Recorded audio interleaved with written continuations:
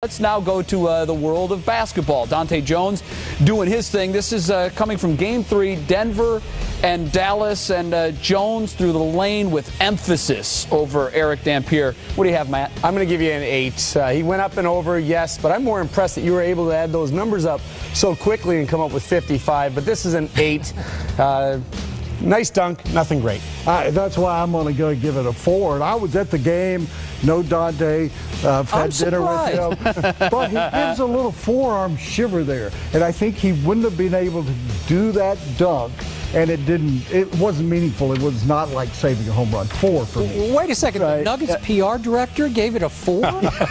I'm in an uproar. I might just get up and leave this show right. Are you guys serious? Yeah, okay, go ahead. That's a nine and a half. I'm Oh, giving it. Oh my. I, listen, that's a ten. That's a 10. That's a ten. All A right. you playoff changed on the game. fly. Yes, that's a that's a ten in a playoff game. The facial on Even- Erick even the Dampier, push, who's a seven footer. He's six foot four. His hair is Are a you 10 kidding there. me? That's a That's an embarrassing moment. That is that is Wait, a. Erick what, what did you Dampier's give life. it, Woody? I'm A sorry. four? You gave it a four. Oh my oh, no! man. I've seen wait, wait, dunks. hold on. I Time bet I'm the only person up here that's ever did a slam Time out. dunk. What did. Shaquille Yeah, O'Neal once call Erick Dampier? I don't care what Shaquille He O'Neal called called him, him. wait a second, he called him Erica, which is why I'm with Woody on this one. That's a four because Oh, on no way. No way. All right, that's 18, That's and tough. 8 is 26, and 5 is 31. By the way, Torii Hunter, I said 55. It wasn't that good. It was 45. Uh. So 45, 31. I, so my math on the fly is No, what it you went to, be. dinner with him, so you Yeah, well, that was Didn't mean that was call that was quite a night. apologize. Man, y'all hating on the NBA. I'm with you, Jay. That's that was huge. I give it much more than a four. I don't know if it's a ten. Let's go to Grady Sizemore now.